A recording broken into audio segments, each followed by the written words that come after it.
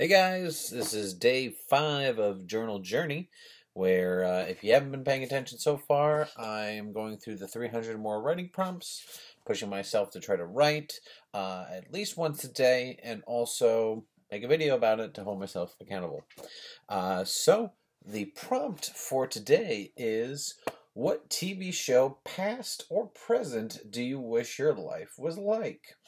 See, me thinking of my answer took most of my journal entry and most of my thoughts because uh, let's think about it like everything is usually broken down between comedies and dramas. I, I was thinking scripted. Obviously i don't want to like live a game show or reality show or a documentary so i was trying to think of scripted comedy dramas.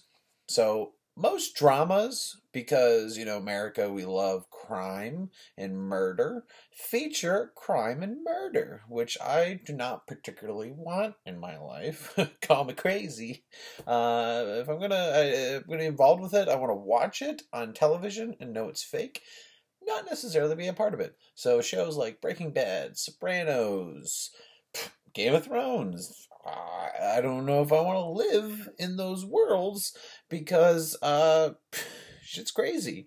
So then I was thinking about like comedies. Part of me wanted to say Pawnee for Parks and Rec, um, but um, it makes me think of like besides Leslie Knope and like the gang we follow, most of Pawnee seems to suck.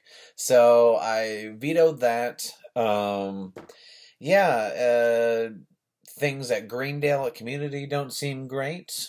Um, and things during the show Psych, there's lots of murder there too, uh, even if I were to be a part of Shawn Spencer's antics.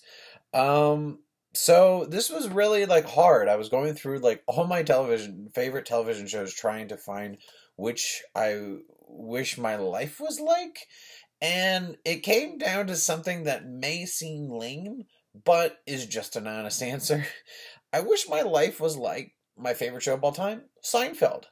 Mainly for the fact that most of the people on the show can pay New York rent while barely doing jobs. Uh, Kramer almost never is working for the entire nine seasons, and he can afford rent somehow. George is unemployed for here and there through the seasons, or in holding jobs for a short amount of time. So the fact that unemployment can somehow pay his New York rent, yes, there is a season where he moves back home with his parents, but like you're getting too into the into the details, even though I'm already getting into the details. Um, but uh, Jerry lives off of stand-up comedy, and at some point during the show, buys his father a Cadillac, when much to everyone's shock. Uh, so I want to live in that world where it seems like people can afford rent by barely doing anything. Um, because that is the main thing in my life right now, which is like bills, concerns of money, the future, career, all that kind of stuff. Where apparently in Seinfeld, none of that really matters. Obviously, it was a show about nothing, but uh, it seems like a lot of that stuff was not quite in the forefront. Tell me what TV show you wish you lived in. Uh, maybe you have something a little bit more crazy than I do. I try to keep it simple and safe. So we'll see you tomorrow.